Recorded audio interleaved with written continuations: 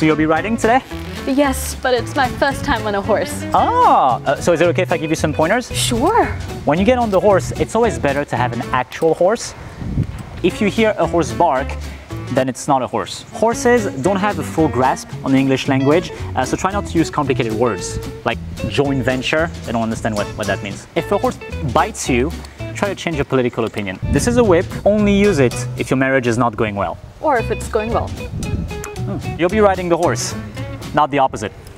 He's a bit too heavy for you. The helmet in your hands, try to put it on your head when riding, because if you keep it in your hands, it's just inconvenient and not safe. Unlike us, horses do not have pockets, which makes it difficult for them to carry phones and wallets. If you ask a horse what is his favorite thing to do, there is a really low chance he will say doing his taxes. Get on the thingy, swing in.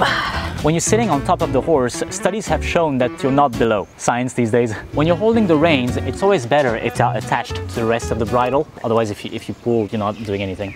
If you feel like you have trouble controlling the horse, just tell yourself that you have to pay rent at the end of the month. So you said this is your first time riding a horse. Does this mean you have never ridden a horse before? If you're scared of falling, just remember that every year 41% of marriages end in divorce. If you pat your horse on the neck, just make sure it's the neck of the horse and not a random person walking by. If he's being a good boy, don't tell him he's being a good girl. Horses are sensitive that way. Some horses are scared of rain, thunder, but none of them are scared of earning minimum wage. When you get off the horse, I suggest that you don't stay on. It will help with the rest. So you ready? Are you going to be my instructor? No, it's my first time too.